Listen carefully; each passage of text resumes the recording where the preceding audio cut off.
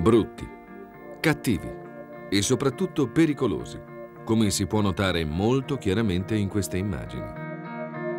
I terrier di tipo bull, specie in questi ultimi anni, sono stati oggetto di una campagna denigratoria legata alla tendenza dei delinquenti moderni ad usare il cane come un'arma impropria. Ma eccoli qui, i cani killer. Ammiratene tutta la crudeltà, la pericolosità e la ferocia. Tra i terrier di tipo bull, il più noto è sicuramente il Bull Terrier con il suo naso romano che gli dà una fisionomia assolutamente unica. Questa razza esiste in due taglie, normale e miniature.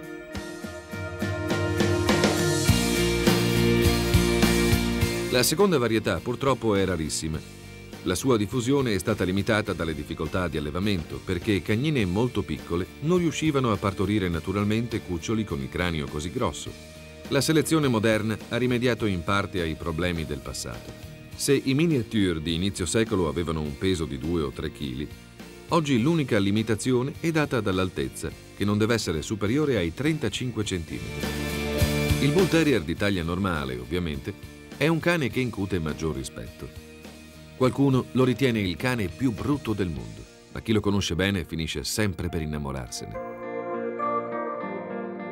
L'Amstaff, come viene chiamato dagli appassionati, non nasce in Gran Bretagna, ma nelle colonie inglesi di Nord America e Canada, da qui il suo nome. Oggi anche il Pitbull, quando è allevato in modo responsabile, è un cane di grande equilibrio. Ma nell'Amstaff le doti psichiche vennero selezionate molto prima e con maggiore attenzione. Lo standard dell'American Staffordshire richiede un cane di grande potenza in rapporto alla taglia è ben costruito e muscoloso, ma anche agile ed aggraziato. Il più piccolo dei terrier di tipo bull, a pari merito con il Bull Terrier Miniature, è anche il più popolare nel Regno Unito, mentre al di fuori di esso non è molto diffuso.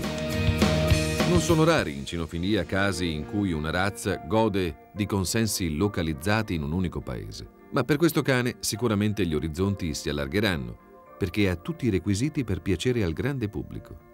Nato dall'incrocio tra gli antichi Bull and Terrier e l'Old English Terrier, fin dagli anni 30 si mise in luce per il carattere particolarmente equilibrato. È infatti un cane dal temperamento dolce ed amabile. La sua struttura da combattente, un po' come avviene per il moderno bulldog, più che timore incute tenerezza. E in realtà lui ha un solo, grande dubbio nella vita. Decidere a chi saltare in braccio per avere più coccole. È un animale amichevole con tutti, anche con gli altri cani. L'unico retaggio del suo triste passato è la forza con cui stringe tra le fauci i suoi giocattoli, da cui non si separa mai neanche in età avanzata.